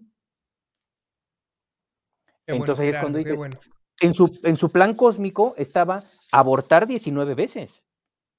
¿Sabes? Por eso cuando, lo digo con todo respeto, cuando alguien dice aquí desde el punto de vista mental, yo estoy a favor del aborto o estoy en contra, yo me quedo callado. Porque para poder decir algo sobre un aborto, tienes que conocer el plan cósmico de quien está abortando, de el espíritu que están abortando. Por eso yo siempre, cuando a mí me preguntan, ¿estás a favor o en contra? Me quedo callado. Yo quién soy para decir estoy a favor o en contra de un tema delicadísimo de un plan cósmico. ¿Se va entendiendo? Exacto. Entonces, no está mal equivocarse, está perfecto, así crecemos bien. El problema es cuando ya aprendemos y nosotros ya aprendimos lo que tuvimos que aprender, ya somos plenamente conscientes desde el corazón de que ya no puedo seguir abortando porque ya lo aprendí y o que ya no me puedo seguir metiendo droga porque ya no estoy en la frecuencia, o que me sigo emborrachando o gastando mi energía sexual, pero no me importa. Mi estructura mental me dice, aunque ya lo hayas aprendido, síguele, no pasa nada. Ahí está el problema. Ahí sí es un problemón, ¿sabes? Cuando ya eres plenamente consciente de todo, cuidado, mucho cuidado por cómo va a reaccionar el universo, porque el universo dice, ya eres consciente, ya sabes qué sucede, ya sabes que la dinamita estalla. Si te pones a jugar con dinamita, te va a estallar en la cara y el golpazo es irreversible. ¿Se va Vas a tener que pagarlo. Es así. Es así. Ahí pues ya está la lección aprendida, exactamente. Así vale, es. Vale. Pues me gustaría, eh, Gerardo, ahora me acabas de, sacar otra, otra mm, cosa que, que, te escuché en los vídeos y ahora lo acabas de tocar, el tema sexual. ¿Y cuál sería la forma correcta de llevar la sexualidad. Para, para que nosotros lo podamos aplicar a, nuestra, a nuestras vidas. Mira, es un tema que me lleva horas explicarlo, pero trataré de sintetizar lo que me estás preguntando. Tu pregunta tal cual es, ¿qué podemos hacer para... Transmutar esa energía que sea positiva, sacar algo positivo de, de la sexualidad. Es que desde ahí está el error porque no hay nada negativo en la, sexualidad. Es como si yo te dijera, ¿qué puedo hacer para purificar el agua que me tomo directamente de los glaciares? ¿Qué le quieres purificar al agua de los glaciares? ¿Se entiende? O sea, a tu energía sexual no hay nada que transmutarle. Es una energía pura. El agua de los glaciares que te tomas, ¿qué le quieres transmutar si es energía pura? Pero ¿y cuando, cuando ¿sabes? Porque eh, cuando tú llevas un acto sexual que solo se deja llevar por la lujuria, o incluso como tú decías antes, por una violación o así, entonces esa energía no se enturbia. ahí, ¿No es negativa? No, son cosas distintas. Una cosa es la energía sexual, otra cosa es la sexualidad y otra cosa es una actividad que conlleve la sexualidad y la energía sexual. Son cosas distintas. Por eso te, digo que el tema es enorme. Vale, vale, vale, vale. para que quede claro lo que me estás preguntando, es lo que podemos hacer es sentir la energía de la persona con la que comúnmente llevas relaciones sexuales o con la que te vas a acostar en un ratito. Te digo por qué. Hay personas que dicen, yo llevo cinco años con mi novia, somos muy felices. Tenemos relaciones sexuales increíbles, nos damos besos increíble, este, todo perfecto en la cama. ¿Y lo demás? Muy buena pregunta, Gerardo. o sea, no me estás hablando de una energía sexual, me estás hablando de que en la cama todo está perfecto y por eso me quiero casar con ella. Dices, a ver, ¿qué tiene que ver la energía sexual con la transmutación de la energía sexual, lo que es erróneo, con el que es el amor de mi vida. No tiene nada que ver, pero una vez más son patrones psicológicos. ¿Por qué? Seamos honestos. ¿Por qué la mayoría de las personas llegan a casarse? Te voy a hacer una pregunta, sé honesto. Si las personas que llegan a casarse actualmente no tuvieran relaciones sexuales previas al casamiento, ¿se casarían? Hoy en día es muy difícil que eso ocurra. Ah, pues obvio. ¿Por qué? Porque una de las bases psicológicas para que suceda es el roce de pieles. Y el roce de pieles responde a una energía cerebral. Seamos honestos. Las terminales nerviosas, ¿a dónde llegan? Es verdad, el cerebro. Punto. Entonces, un parámetro para casual. Nada. Nada, porque eso es roce de pieles. Y la gente no entiende la diferencia entre el roce de pieles y la energía sexual. ¿Y la energía sexual? ¿Cuándo se da entonces? ¿Cuándo se da? Es un tema larguísimo. La energía sexual, tú eres energía sexual. Y que quede algo claro, la energía sexual no nada más es la energía que sale cuando se eyacula o se ovula o hay flujos. No, hay muchas otras formas. Entonces, honestamente, lo voy a decir con todo respeto, la humanidad sabemos muy poco acerca de la energía sexual. ¿Se va entendiendo? Yo creo, creo que tienes toda la razón, nos queda mucho por aprender. Entonces, ¿qué sucede? Que el parámetro para estar con alguien es lo que suceda en la cama. Es muy respetable, es muy bonito tener relaciones sexuales, por supuesto, se disfruta, hay que disfrutarlo, por supuesto. Lo único que yo diría para contestar tu pregunta es, Olvídate que tu energía sexual la tienes que transmutar. Lo único que yo te diría es, no regales tu energía sexual. ¿Se entiende? Porque por muy enamorados que estemos con nuestra pareja, por muy guapa que sea nuestra esposa, por muy guapo que sea mi marido, por que en la cama nos va como los dioses del Olimpo, qué bueno, no sigas regalando tu energía sexual. Esto no significa que dejemos de tener relaciones sexuales, por supuesto que no que quede claro, ¿eh? No estoy satanizando esto, no. Repito, el tener relaciones sexuales está muy lindo, está muy rico, está muy bonito, es necesario a veces, claro, por supuesto, perfecto. Lo único que yo digo es, nada más siente la energía previamente de la persona con la que quieres tener relaciones sexuales. Porque caras vemos, energías y frecuencias no sentimos. Cierto, Gerardo, cierto. Buenísimo, buenísimo. Pues para, para cerrar, Gerardo, me gustaría una. Voy a, voy a poner debajo en la descripción del canal. Voy a poner ya tu, tu canal. Pero aparte, creo que tienes una web, ¿no? Sí. ¿Y cómo, cómo es. Luego la busco y te la pongo también en la descripción para que la gente pueda buscarla. Mira, en mi página, eh, ahí pueden descargar todos mis libros completamente gratis.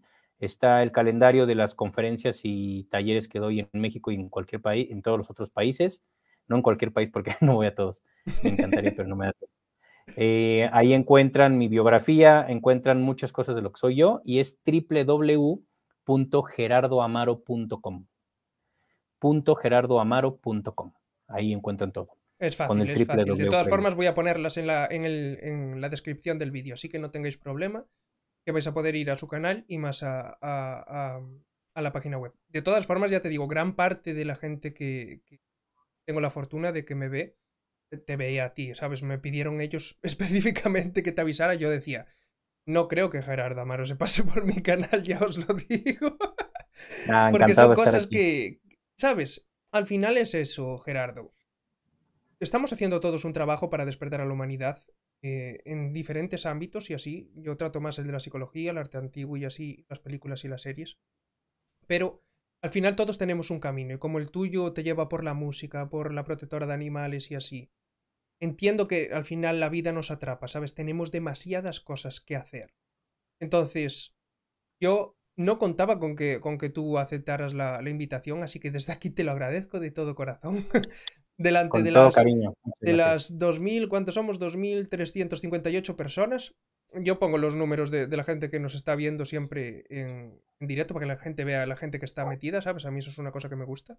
No hay nada que ocultar, las cosas son así. Entonces tengo arriba, ¿sabes? La gente que está en YouTube, que ahora mismo son 2.019 personas, en Facebook son 58 y en Twitch son 304.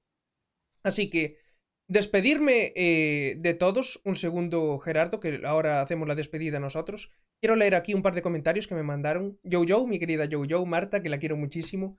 Dice aquí que hermano, te quiero muchísimo. Gracias por traer un invitado tan chingón. sí, señor. Dice, me encanta. Un abrazo a los dos y a los amigos del chat. Marta es encantadora, de verdad que, tengo la fortuna de tener un, la, sabes, una comunidad que, que tiene muchísima empatía y comprende eh, lo que nos une y siempre enfatiza en lo que nos une en lugar de lo que nos separa. Es una de las cosas que más agradezco. las cosas como son, Gerardo. Después nos dice mi querida Coralín Coralín, saludos mi niño guapo y valiente, qué buen invitado de México, seguramente. Hombre, se nota bien, Gerardo. Coralín, gracias de todo corazón. Y dice Mónica Cortés Sánchez, felicidades a ambos, lo superadmiro a los dos. Pregunta para Gerardo, ¿cómo podemos elevar nuestra vibración? Y si puede explicar más del ser crístico. ¿Mm? Entonces, ¿cómo, podemos hacer para elevar la vibración? Eso es una pregunta importantísima. Mira, em, les voy a decir cuatro puntos a que los consideren y los lleven a cabo. No son sencillos, se necesita mucha constancia. El primero es empezar a respetar nuestro cuerpo físico es decir, dejar de contaminarlo, dejar de meterle exceso de azúcares, el, exceso de grasa, de aceites oxidados, de carne putrefacta, eh, de alcohol, de cigarro, de drogas, bla, bla, bla. Dejar de contaminarlo para empezar. Y obviamente, el segundo es nutrirlo con frutos solares. Como debiésemos alimentarnos, serían los frutos solares directamente crudos, sin sin cocción, sin freír, sin nada directamente. Eso es un poquito. Yo todavía no lo logro porque yo todavía necesito mis frijolitos o mis lentejas o mis garbanzos igual, me pasa igual cocinaditos. Pero el 60% de mi alimentación es cruda. Entonces, es dejar de envenenar nuestro cuerpo. Obviamente en ese mismo punto es alimentarnos con lo que se debe. Dos, tenemos que activar nuestro cuerpo, es decir, el sedentarismo se tiene que morir tienes que hacer ejercicio, pero real. Tienes que hacer cardio, tienes que hacer elevación de masa muscular, tienes que hacer otra actividad, un arte marcial o natación o muchas cosas tan hermosas que hay. Ese sería el tercer punto. El segundo punto, porque el otro fueron dos puntos en uno mismo. El tercer punto es dejar de hacer las actividades que nos roba o nos baja la energía.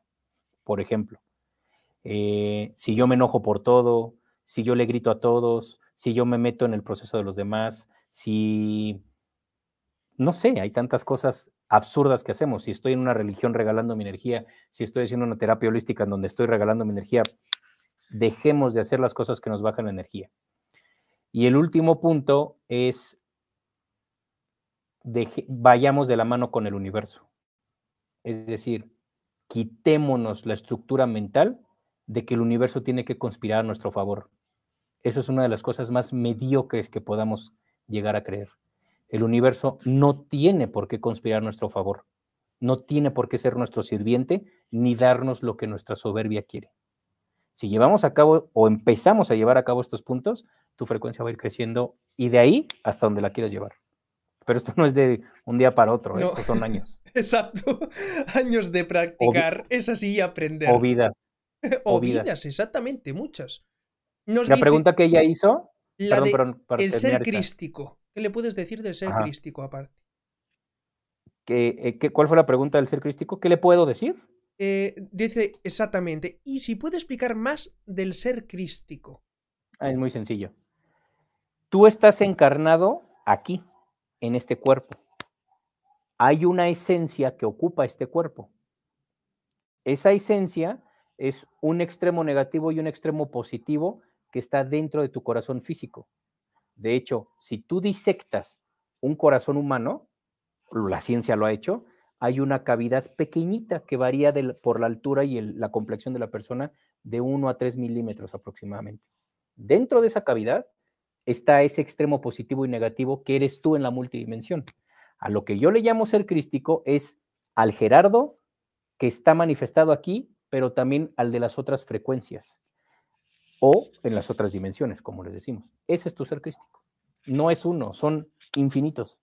Es decir, tú estás en todas las dimensiones. Exacto, qué buena explicación, Gerardo. Sí, señor. sí, señor. Y bien, por último, dice Televisión La Medicina. Qué gran charla, un placer como siempre, Enrique. Y un fuerte abrazo a Gerardo por nutrirnos con su presencia. Muchas gracias. Qué buena onda. Sí, señor. Muchas gracias por la invitación.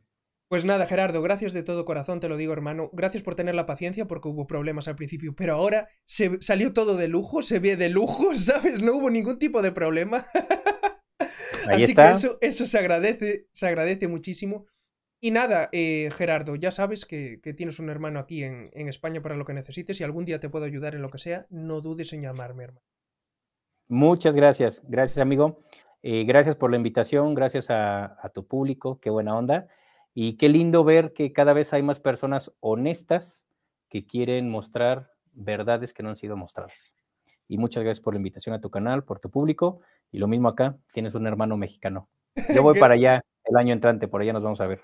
Pues gracias de corazón, Gerardo. Ojalá algún día podamos darnos un abrazo físico. Eso va a pasar. Vas a ver que sí. Pues cuídate. Chao, hasta la próxima. Nos vemos pronto. Bye.